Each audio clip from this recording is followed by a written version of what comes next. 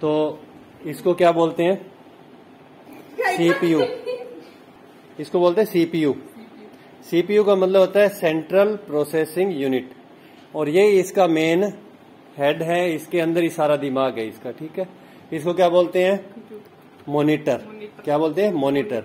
इस पे अपने को दिखता है जो भी अपने काम करते हैं वो सब इसमें दिखता दिखता है। है ये क्या है? माउस। माउस। और ये है कीबोर्ड। अब इसको ऑन कैसे करते हैं पता है आपको? ये है ना, बटन इसको दबाइए आप ऑन का। ज़ोर से प्रेस कर दीजिए। ठीक है, यहाँ पे लाइट आ गई।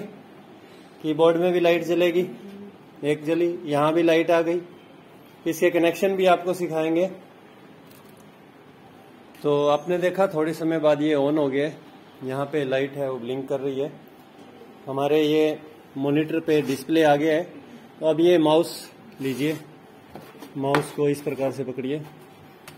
इसके बाद में ये आपके उबंटू है। एक विंडो होता है विंडो का अलग सिस्टम है, ये उबंटू का है, ठीक है? तो ये राइट क्लिक काम करेगा। यहाँ पे आपको क्या दिख रहा है? ये वाला है ना, इसके ऊपर लाइए। ये एरो दिख रहा है ना आपको? इससे इसको पकड़िए। इधर वाला हाँ बटन दबा लीजिए, दबा के रखिए। उधर खींचिए। इसको दबाए दबाए, इसको उधर ले जाइए। देखो, मेरे को, मैं बताता हूँ। ये वाला माउस यहाँ पे हमने रखा। और यहाँ से, नहीं तो इस पे राइट क्लिक करेंगे। ये राइट क्लिक वो होता है लेफ़्ट क्लिक ये होता है तो इसको क्लोज कर देंगे। ये क्लोज हो गया। अब इस पे आपको ये क्या दिख रहा है? इनको बोलते हैं फोल्डर फोल्डर का मतलब जैसे किताब होती है, वैसे ये फोल्डर्स हैं, ठीक है? और इसमें कुछ ना कुछ डाटा है। किसी में कोई वीडियो है, किसी में सॉन्ग है, किसी में कोई फाइलें हैं ये क्या है फ़ाइल दिख रही है आपको? ये एम पी फोर है। इसके आगे एक्सटेंशन होता है डॉट एम पी फोर तो जो मैं बता रहा हूँ समझ आ रहा है?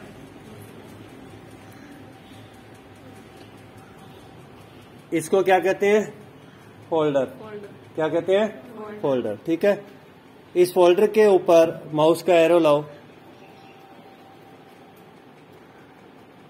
हाँ ये ये एरो होता है। ये जो आपको तीर दिख, दिख रहा है ये एरो होता है। क्या होता है? एरो क्लिक करो दूसरी साइड का।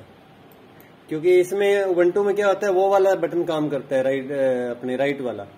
और नॉर्मल जो विंडो होती है उसमें लेफ़्ट का बटन काम करता है। तो यहाँ ओपन पे लाइए। अब आप चाहे लेफ़्ट दबा दो। कोई भी दबा दो ठीक है? ये फाइलें खुल गई। अब इनको चलाने का जैसे है ये वीडियो है। अभी तो ये वीडियो बता रहे हैं। तो दो बार इस पे क्लिक करेंगे तो ये चल जाते हैं। ठीक है?